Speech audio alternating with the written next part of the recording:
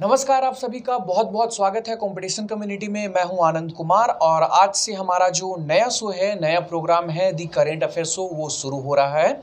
इसके बारे में बेसिक जानकारी मैंने कल आप लोगों को दे दिया था। फिर से एक बार बता देता हूँ इंडिया में अगर आप किसी भी कॉम्पिटेटिव एग्ज़ाम्स की तैयारी कर रहे हो या करना चाहते हो तो करेंट अफेयर की तैयारी आप यहाँ से कर सकते हो। यह शो प्रत्येक सोमवार से शुक्रवार तक रात को 9 बजे आप लोगों को मिलेगा। ज़्यादा तामझाम नहीं होगा, सिर्फ़ 10 से 15 मिनट का शो होगा।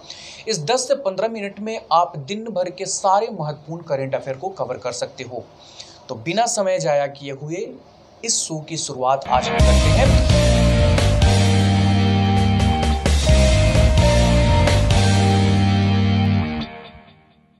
और आज का जो हमारा सबसे पहला टॉपिक है, वो बहुत ही इंपॉर्टेंट टॉपिक है। हाल ही में कुबैत के नेशनल असम्बली की तरफ़ से एक बिल पास किया गया है। हालाँकि इसे आप एक ड्राफ्ट बिल कह सकते हो।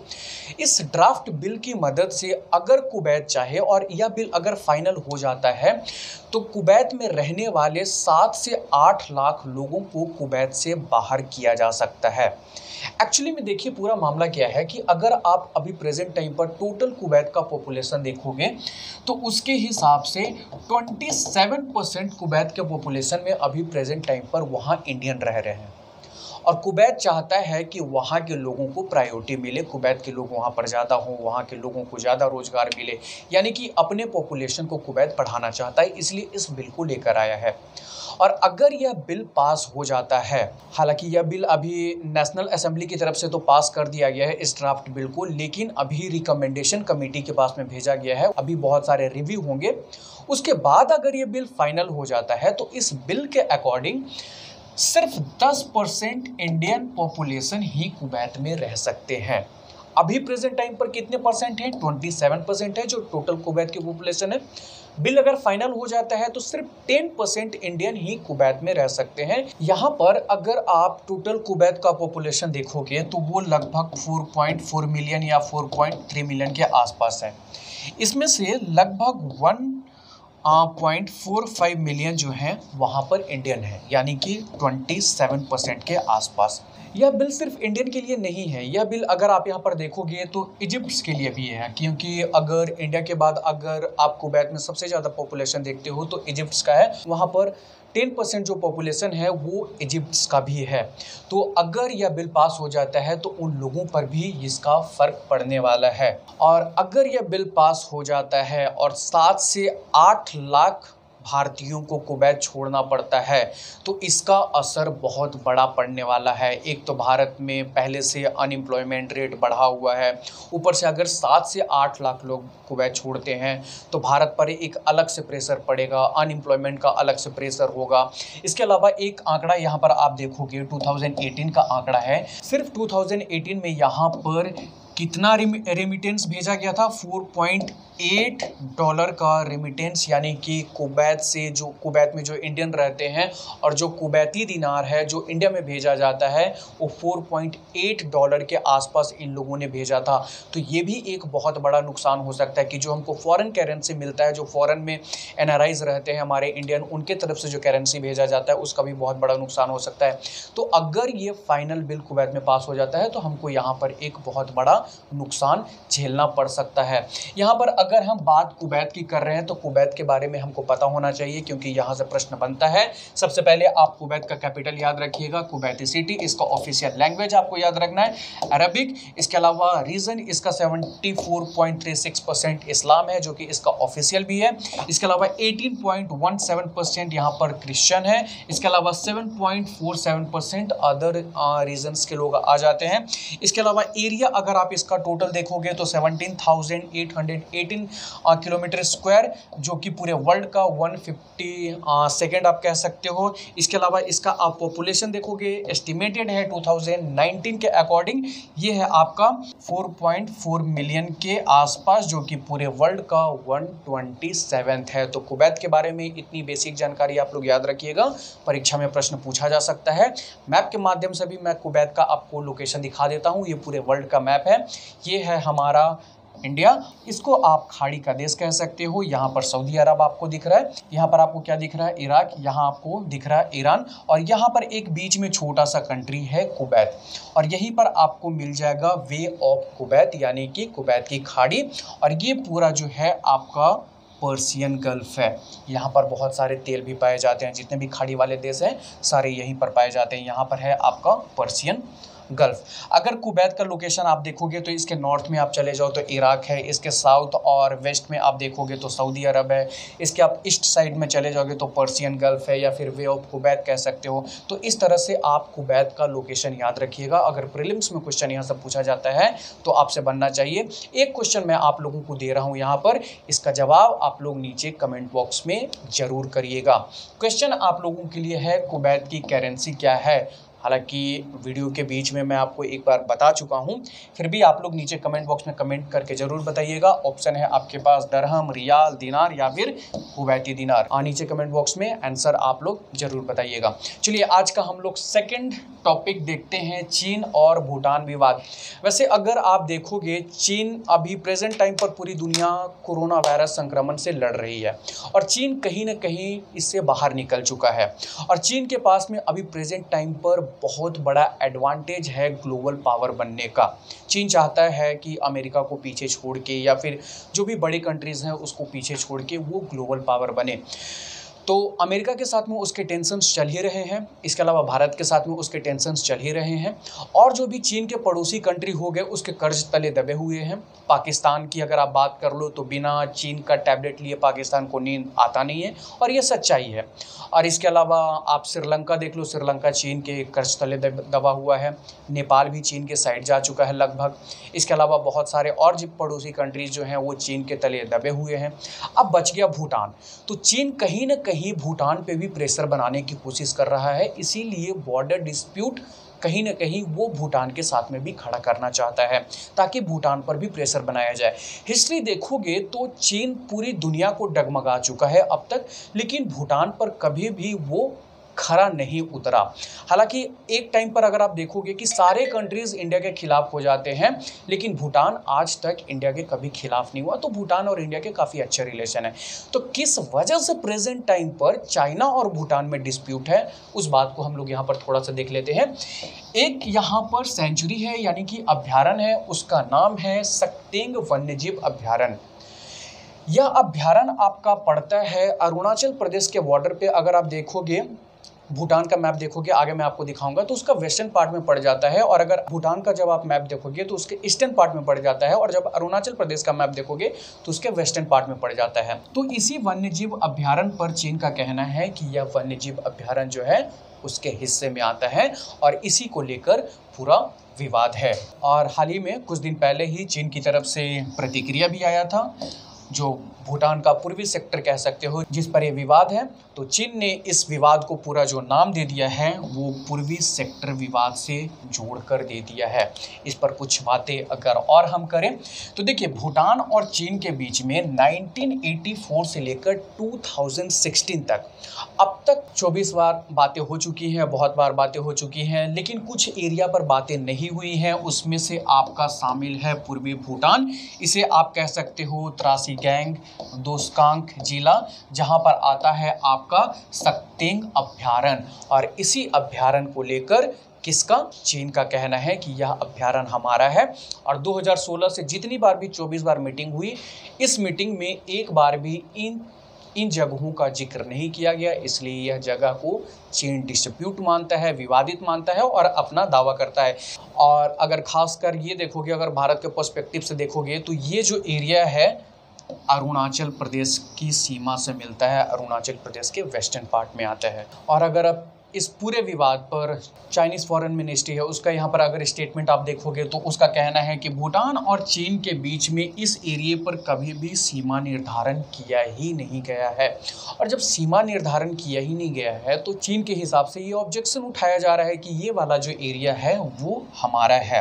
तो खासकर भूटान का पूर्वी और कुछ पश्चिमी एरिया पर ये विवाद फिर से उठ खड़ा हुआ है। और ये विवाद तब गहराया जब यहाँ पर आप देख सकते हो कि संयुक्त राष्ट्र का जो ग्लोबल इन्वायरमेंट फैसिलिटी यानी कि जीईएफ है, जो कि नेशनल पार्क्स हो गए या वन्य जीव अभ्यारण्य हो गया उसको फंडिंग करती है, उसको डेवलप करने के लिए। उस फंडिंग पर भी रोक लगाने की बात कही गई चीन की तरफ़ से यूनाइटेड नेशन में, ताकि भूटान को दबाया जा सके, लेकिन हालाँकि वो फंडिंग रुका नहीं था, क्योंकि चीन का यहाँ पर कहना था कि ये एरिया पूरा विवादित है। अब यहाँ पर थोड़ा सा बात मैं आपको भूटान के बारे में भी बताऊँगा। याद रखना आपको बहुत ज़रूरी है, क्योंकि यहाँ से प्रीलिम्स में क्वेश्चन पूछा जा सकता है। भूटान का कैपिटल क्या है? थिम्पू एरिया क्या है टोटल? अड़तीस हज़ार तीन सौ चौरानवे square kilometre, kilo kilometre square, जो कि पूरे वर्ल्ड का वन थर्टी थर्ड है। और इसका टोटल पॉपुलेशन कितना है? सात लाख चौवन हज़ार तीन सौ अट्ठासी, जो कि पूरे वर्ल्ड का वन सिक्सटी फिफ्थ नंबर का आता है। और इसका अगर आप मैप देखोगे तो ये इंडिया का ईस्टर्न मान लो, ये आपका यहाँ पर सिक्किम आ जाता है, ये आपका भूटान है, भूटान के नॉर्थ साइड में चले जाओ, तिब्बत आ जाता है, चीन आ जाता है साउथ साइड पूरा असम से घिरा हुआ है, आप इसके ईस्टर्न पार्ट में चले जाते हो तो ये अरुणाचल प्रदेश है, और ये है आपका साक्तेंग वाइल्ड लाइफ सेंचुरी जिस पे विवाद है, ये अरुणाचल प्रदेश के आपका वेस्टर्न पार्ट में आ जाता है, भूटान के आपका ईस्टर्न पार्ट में आ जाता है। यहाँ आपका सिक्किम है तो इस तरह से आपको भूटान का लोकेशन भी याद रखना है। क्वेश्चन प्रीलिम्स में पूछा जा सकता है। इसके बाद जो नेक्स्ट का टॉपिक है, इसरो को यहाँ पर एक बहुत ही बड़ा सफलता मिला है। इसरो ने 2013 में एक मंगलयान भेजा था, जो कि मंगल पर पहुँचा था 2014 चौदह में। अब इसरो ने एक बहुत बड़ी इमेज भेजी है मंगल ग्रह के खुद के चंद्रमे का। और उस मंगल ग्रह के चंद्रमे का नाम आपको याद रखना है, वो इंपॉर्टेंट हो सकता है, परीक्षा में पूछा जा सकता है। उस मंगल ग्रह के चंद्रमे का नाम है फोबोस जैसे पृथ्वी का जो चंद्रमा है, वैसे ही मंगल ग्रह का चंद्रमा है, उसका नाम है फोबोस। उसका सबसे बड़ा जो इमेज है, हाल ही में मंगलयान ने भेजा है, उस इमेज को भी मैं दिखाऊँगा। उस इमेज के पार्ट के कुछ नाम रखे गए हैं, उसको भी मैं यहाँ पर दिखाने वाला हूँ। और इस मंगलयान पे जो कैमरा लगा हुआ था और जिस कैमरे से जिस इमेज को भेजा गया है, उसका नाम आपको याद रखना प्रीलिम्स में पूछा जा सकता है। उसका नाम है मार्स कलर कैमरा इसका नाम आप लोग याद रखिएगा और यह जो इमेज लिया गया है, यह मंगल ग्रह से लगभग बहत्तर सौ किलोमीटर की दूरी पे यह चंद्रमा था, वहाँ से लिया गया है। और फोबो से लगभग 4200 किलोमीटर दूर पर था। मंगल ग्रह वहाँ से यह इमेज लिया गया है। तो इतनी चीज़ें आप लोग प्रीलिम्स के लिए नोट करके रखिएगा। यहाँ से क्वेश्चन पूछा जा सकता है। ये इमेज जो है, वो फोबस की है, जो कि मंगल ग्रह का चंद्रमा है। और यहाँ पर एक बहुत बड़ा गड्ढा ढूंढा गया है और उस गड्ढे का नाम दिया गया है स्टिकनी और ये स्टिकनी जो है, यहाँ पर आपको नोटिस किया गया है और ऐसा माना जा रहा है वैज्ञानिकों का कि बहुत सारे उल्का पिंड यहाँ से गुजरे होंगे, टकराए होंगे और टकराने के बाद यहाँ पर एक बहुत बड़ा गड्ढा बना होगा। तो इसको जो नाम दिया गया है, वो स्टिकनी नाम दिया गया है। तो इसका नाम याद रखिएगा प्रीलिम्स में पूछे जा सकते हैं। और बहुत सारे छोटे छोटे गड्ढे खोजे गए हैं, जिसका नाम दिया गया है स्लोवास्की दिया गया है रोज दिया गया है। इसके अलावा ग्रिल्ड्रिक भी इसका नाम दिया गया है। ये तीनों आप गड्ढे आप यहाँ पर देख सकते हो। तो इसरो का जो मंगलयान, जो कि 2013 में भेजा गया था, मंगल पर 2014 में पहुँचा था, उसने फोबोस का एक बहुत बड़ा इमेज ऑब्ज़र्व किया और उसने भेजा है और उसको ऑब्जर्वेशन के आधार पर इसका अलग अलग गड्ढों के, का नामकरण किया गया है। इन सब सारी बातों को आपको ध्यान रखना है। प्रीलिम्स के लिए बहुत इंपॉर्टेंट हो सकता है। आपसे परीक्षा में प्रश्न पूछा जा सकता है। इसके अलावा टॉप्स योजना नेक्स्ट टॉपिक हमारा। टॉप्स का मतलब है टारगेट ओलंपिक पोडियम स्कीम ये स्कीम पहले से चल रहा है लेकिन ये स्कीम बड़े लोगों के लिए चल रहा है। जिनकी एज सिक्सटीन सेवनटीन एटीन के ऊपर है उन लोगों के लिए टॉप स्कीम चल रहा है। लेकिन हाल ही में स्पोर्ट्स मंत्रालय की तरफ़ से कहा गया कि यह बच्चों के लिए भी इस, इस स्कीम को शुरू किया जाएगा। इस स्कीम को उन बच्चों के लिए शुरू किया जाएगा जिनकी उम्र दस से बारह साल है और इन बच्चों को तैयार किया जाएगा ओलंपिक 2028 के लिए। और टारगेट भी रखा है कि पदक की सूची में इंडिया को कम से कम टॉप टेन में लाना है। इसीलिए टॉप स्कीम को बहुत जल्द, अभी शुरू नहीं किया गया है। बच्चों के लिए भी इंडिया में शुरू किया जाएगा ताकि इंडिया का जो प्रतिभा है, जो बच्चों में प्रतिभा है, उनको अवसर दिया जा सके। उन्हें रहने खाने का भी खर्चा दिया जा सके। पूरा जो खर्चा है, उनका मंत्रालय की तरफ़ से उठ, उठाया जा सके। तो टॉप स्कीम्स के बारे में याद रखिएगा। खेल मंत्रालय का ये स्कीम से प्रीलिम्स में पूछा जा सकता है। पहले से ही बड़ों के लिए चलाया जा रहा है लेकिन अब बच्चों के लिए भी इस स्कीम को चलाए जाने की बात की जा रही है। और इस स्कीम का फुल फॉर्म आपको याद रखना है ऑब्जेक्टिव याद रखना है। इस स्कीम की सारी इन्फॉर्मेशन यहाँ पर दिया हुआ है। आप लोग ध्यान में रखिएगा। ठीक है? चलिए, इसके बाद जो हमारा नेक्स्ट का टॉपिक है, भारत का पहला social media app Chinese app का जिस प्रकार से विरोध हो रहा था, जिस प्रकार से 50 से ज़्यादा चाइनीज़ ऐप को यहाँ पर गवर्नमेंट की तरफ़ से बैन किया गया, उसके बाद इंडियन ऐप को काफ़ी ज़्यादा प्रमोट किया जा रहा है और इसी के मद्देनज़र भारत के उपराष्ट्रपति वेंकैया नायडू ने हाल ही में भारत का पहला mobile application social media mobile application launch किया भारत का पहला सोशल मीडिया मोबाइल एप्लीकेशन, जिसका नाम है एलिमेंट एप्लीकेशन। इस एप्लीकेशन में आपको बहुत सारे फीचर्स मिल जाएँगे। एक ही एप्लीकेशन में आपको बहुत सारे फीचर्स मिल जाएँगे। कॉलिंग के फीचर्स मिल जाएँगे, आपको मैसेजिंग के फीचर्स मिल जाएँगे। इसके अलावा इसी एप्लीकेशन में आपको ई मार्केटिंग के भी फीचर्स मिल जाएँगे। तो भारत का अपना पहला डेवलप सोशल मीडिया एप्लीकेशन का नाम क्या है? तो उस एप्लीकेशन का नाम है एलिमेंट्स। इसमें आपको कॉलिंग, मैसेजिंग, इसके अलावा ई मार्केटिंग सारी सुविधाएँ जो है एक ही एप्लीकेशन में मिल जाएगा। बस आपको इतना ध्यान रखना है प्रीलिम्स में आपसे अगर पूछा जाता है, भारत का पहला सोशल मीडिया एप्लीकेशन तो बस इतना ही पूछा जाएगा। इस बात को यहाँ पर आपको ध्यान में रखना होगा। इसके बाद जो लास्ट का हमारा टॉपिक है, वो है दलाई लामा से संबंधित। दलाई लामा का आज यानी कि सिक्स ऑफ़ जुलाई को एटी फिफ्थ एनिवर्सरी मनाया गया है। हालाँकि इनका जो एनिवर्सरी है, इनका जो जन्म दिवस है वर्चुअल रूप से मनाया गया। और वर्चुअल रूप से मनाए जाने के पीछे का उद्देश्य है। आप लोगों को पता है कि कोरोना संक्रमण की वजह से लोग एक जगह बहुत सारे लोग इकट्ठा नहीं हो सकते। और इनके जन्म दिवस के अवसर पर एक एल्बम लॉन्च किया गया। इस एल्बम के माध्यम से लोग जाप करके, इनके मंत्रों का उच्चारण करके इनके जन्म दिवस को मनाए। और इस एल्बम को जिन्होंने लॉन्च किया, उनका नाम याद रखिएगा। प्रीलिम्स के लिए इंपॉर्टेंट हो सकता है। न्यूयॉर्क की इनकी छात्रा है जुनेल क्यूनिन और इनके हस्बैंड है अब्राहम क्यूनिन इन दोनों ने ही और इनकी कोशिशों के बाद ही इस एल्बम को लॉन्च किया गया है और इस एल्बम में इनके जितने भी मंत्र हैं, इनके जितने भी ज्ञान हैं, उन सारी चीज़ों को इसमें समाहित किया गया है। तो इस एल्बम के बारे में अगर पूछा जाता है, एटी फिफ्थ एनिवर्सरी पर जो लॉन्च किया गया है तो इतनी चीज़ों को आप लोगों को यहाँ पर ध्यान में रखना होगा। थोड़ी सी बात यहाँ पर आप लोग दलाई लामा के बारे में भी समझ लीजिए कि दलाई लामा का जन्म कब हुआ था। तो इनका जन्म हुआ था उत्तर पूर्वी तिब्बत में ओमान परिवार में सिक्स जुलाई 1935 को दलाई लामा का जन्म हुआ था। और सिर्फ़ जब ये दो साल के ही थे तो इनकी जो पहचान है वो तेरहवें दलाई लामा के रूप में थुपटेन ग्यातसो ये चीज़ याद रखिएगा, ये तेरहवें दलाई लामा है, जो कि थुपटेन ग्यातसो के रूप में इनकी पहचान की गई थी। ये वाला जो पॉइंट है क्वेश्चन के रूप में पूछा गया है, ये तेरहवें दलाई लामा के रूप में, थुपटेन ग्यातसो के रूप में इनकी पहचान की गई थी और इसी के रूप में इनको जाना जाता है और इसी का अवतार इनको माना जाता है। तो दलाई लामा के बारे में आप लोगों को इतना याद रखना है। तो दी करेंट अफेयर शो में आज छः महत्वपूर्ण टॉपिक्स हमने एनालिसिस किया। दो टॉपिक हमारे बहुत इंपॉर्टेंट थे। एक तो चीन और भूटान का विवाद और एक कुवैत से कुवैत और एक कुवैत की असेंबली ने जो ड्राफ्ट बिल पास किया, जिससे सात से आठ लाख भारतीयों को बाहर निकाला जा सकता है उसके बारे में। दी करेंट अफेयर शो आप लोगों को कैसा लगा? नीचे कमेंट करके ज़रूर बताइएगा। और जो क्वेश्चन मैंने आपसे पूछा है, उसका आंसर आप लोग ज़रूर दीजिएगा। तो फ़िलहाल इस दी करेंट अफेयर शो में इतना ही।